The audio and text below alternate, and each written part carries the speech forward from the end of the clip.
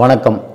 இப்போ நம்ம பார்க்க போகிறது வந்து இன்றைக்கி வந்து முன்னாள் மின்சாரத்துறை அமைச்சர் தங்கமணி வீட்டில் ரெய்டு பண்ணிகிட்ருக்காங்க இருக்காங்க. இப்போ லஞ்ச ஒழிப்புத்துறை சொன்ன விஷயம் என்னென்னா அதாவது வருமானத்துக்கு அதிகமாக கிட்டத்தட்ட நாலே முக்கால் கோடிக்கு சொத்து சேர்த்துருக்காரு அப்படின்னு சொல்கிறாங்க முதல்ல இந்த விஷயத்தை பொறுத்த வரைக்கும் வந்து இந்த ரெய்டு அப்படின்னாவே சாதாரணமாக வந்து ரெய்டு நடக்கிறதாம்பா அப்படின்னு நம்ம ஈஸியாக கடந்து போயிடும் ஆனால் உள்ளுக்குள்ளே பார்த்தீங்கன்னா இதனால் வந்து பொதுமக்கள் இல்லை சாதாரண சாமானிய மக்கள் வந்து எந்த மாதிரி மனநிலைக்கு வருவாங்கிறது நீங்கள் அவங்ககிட்ட பேசி பார்த்தா தான் தெரியும். என்னது அறுபத்தொம்போது இடத்துல ரைடு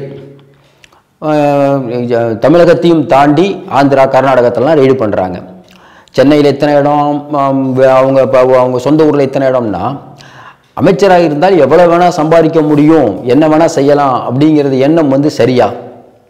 இது வந்து நியாயமாக இருந்தால் சீக்கிரம் நடவடிக்கை வந்து கோர்ட் எடுத்து சீக்கிரம் அவங்க தண்டிக்கணும் அப்படிங்கிறது பொதுமக்களோட எண்ணம் எல்லாத்தோட எண்ணமும். ஏன்னா தெரியும் உங்களுக்கு இதே குற்றச்சாட்டில் வந்து சொத்து சேர்த்து வழக்கில் தான் லலித் பிரசாத் யாதவ் கைதாகி ஜெயிலிருந்து வெளியில் வந்திருக்காரு.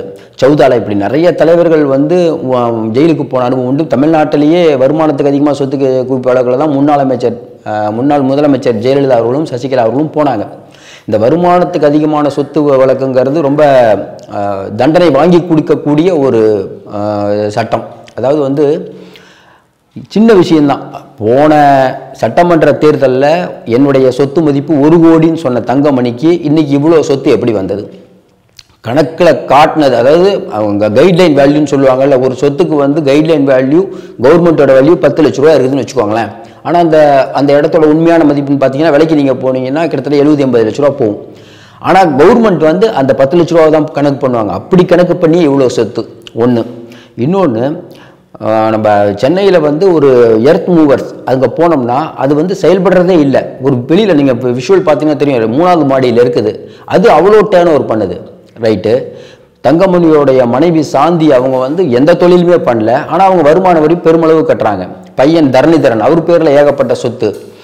மருமகன் தினேஷ்குமார் மேலே சொத்து அவங்க சம்மந்தி மேலே சொத்து. இப்படி வந்து தொடர்ந்து வந்து இப்படி ஒரு சொத்து குவிப்பு வழக்கு வந்து ஏன்னா எல்லாரும் எதிர்பார்த்தது தான் வீரமணி வீட்டில் வந்தது வேலுமணி வீட்டில் வந்தது விஜயபாஸ்கர் வீட்டில் வந்தது அடுத்து இதா அப்படின்னு நம்ம கடந்து போயிடுறோம். ஆனால் வந்து இது ஒரு என்ன முடிவே இல்லாமல் மக்கள் இப்போ வந்து ஆதங்கப்படுறாங்க. இவங்க மேலாம் கேஸ் போட்டிங்க என்ன ஆச்சு? ஏன் இன்னும் நடவடிக்கை எடுக்கலை? ஏன் தனி நீதிமன்றம் அமைக்க சொன்னமே ஏன் அமைக்கலை?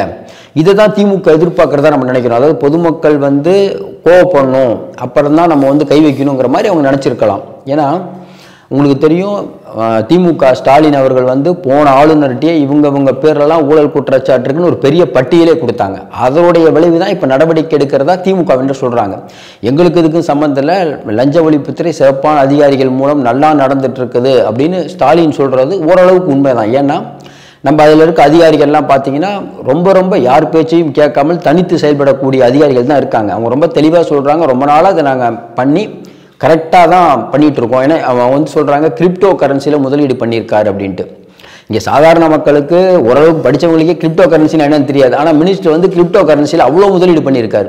அப்போ வந்து விஞ்ஞான ரீதியாக நீங்கள் வந்து அந்த பணத்தை முதலீடு செஞ்சுருக்கீங்க. யாருக்கும் தெரியக்கூடாது அப்படின்னு செஞ்சுருக்கீங்கிறது பட்டவர்த்தனமாக தெரியுது ஒன்று இன்னொன்று இது வந்து நீங்கள் பதிலே சொல்ல முடியாது. ஒரு கோடி எங்கே இப்போ இருக்க சொத்து எங்கே? எப்படி இவ்வளோ சொத்து வந்தது? அப்படிங்கும்போது வந்து இது வந்து தொடர்கதையாக இருக்கிறது வந்து ரொம்ப கவலை அளிக்கக்கூடியதாக இருக்குது. ஒரு இந்திய நாட்டில் வந்து ஓட்டு போடுறதுக்கு மக்கள் பணம் வாங்குறாங்கன்னு மக்களை நம்ம குறை சொல்கிறோம் ஆனால் ஓட்டு போடுறதுக்கு பணம் கொடுத்து மக்களை மா இவங்க கொடுக்குறதுனால தான் மக்கள் வாங்குறாங்க. அது விட்ருங்க அது வந்து இப்போ தான் விழிப்புணர்வு வந்துட்டு இருக்குது. இருந்தாலும் இப்படி தொடர்ந்து அமைச்சர்கள் மேலே இந்த மாதிரி குற்றச்சாட்டுகள் வர வரது வ- வரதை விட அவர்களுக்கு எவ்வளவு சீக்கிரம் முடியுமோ அவ்வளோ சீக்கிரம் தண்டனை வாங்கி தரணும் நியாயமாக இருக்கிற பட்சத்தில் அப்படின்னு பொதுமக்கள் நினைக்கிறாங்க. அப்போ தான் மற்றவர்களுக்கு ஒரு பயம் வரும். உங்களுக்கு தெரியும் இந்த சொத்து சேர்ப்பு வ- சொத்து குவிப்பு வழக்கு ஜெயலலிதாவே தண்டிக்கப்பட்ட வழக்கு.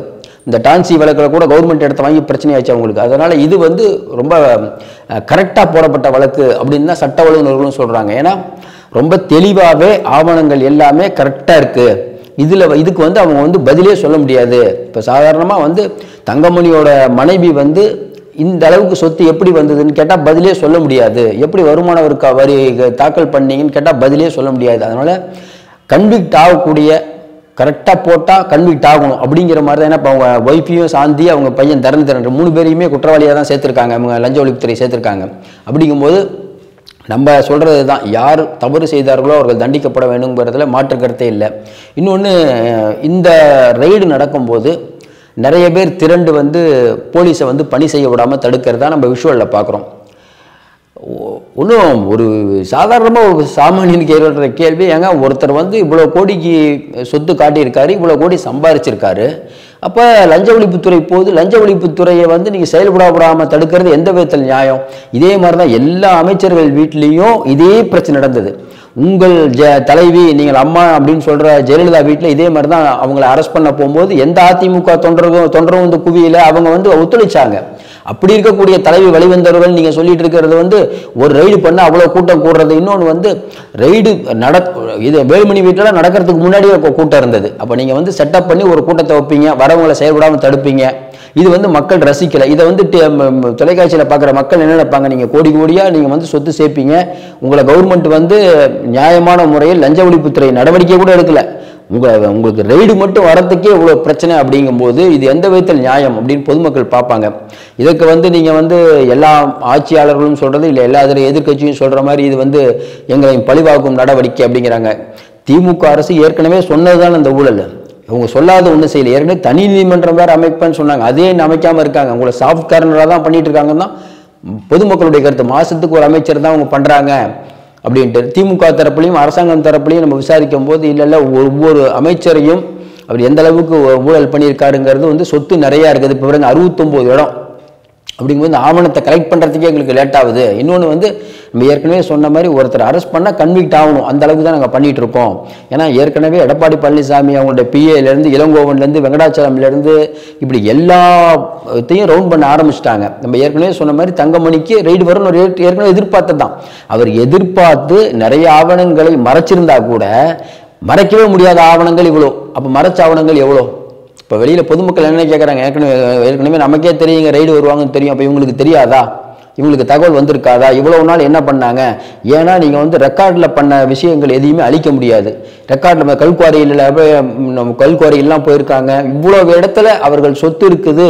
இவ்வளோ மலைக்க வைக்கக்கூடிய சொத்துக்கள் இருக்குதுன்னு பொதுமக்களுக்கு தெரிய தெரிய அடிக்கடி தெரியும் போது மக்களுக்கு இந்த ஜனநாயகத்தின் மேல் இருக்க நம்பிக்கையே போயிடும் அப்படிங்கிற மாதிரி தான் நடுநிலையாளர்கள் நினைக்கிறாங்க. அதனால் இதற்கு வந்து யார் தவறு செய்திருந்தாலும் அவர்கள் தண்டிக்கப்பட வேணுங்கிறதுல யாருக்குமே மாற்று கருத்து இல்லை. இந்த அரசாங்கம் முதலமைச்சர் அவர்கள் வந்து நிறையா விஷயத்தில் வந்து நல்லது பண்ணிகிட்டு இருக்கிறதா மக்கள் நினைக்கிறாங்க. ஆனால் இந்த விஷயத்தை பொறுத்தவரையும் நீங்கள் வந்து எந்தெந்த மினிஸ்ட்ரி வீட்டில் வந்து லஞ்ச ஒழிப்புத்துறை போய் அவங்க ஆவணங்கள்லாம் கைப்பற்றுச்சோ சீக்கிரம் நடவடிக்கை எடுத்து நல்ல தீர்ப்பை வழங்க வேண்டும்ங்கிறதா நம்மளோட எண்ணமும். இனிமேல் இந்த மாதிரி தவறுகள் நடக்கக்கூடாது அப்படிங்கிறது தான் பெரும்பான்மையான மக்கள் எல்லா மக்களோட எண்ணமும். மீண்டும் சந்திப்போம். நன்றி. வணக்கம்.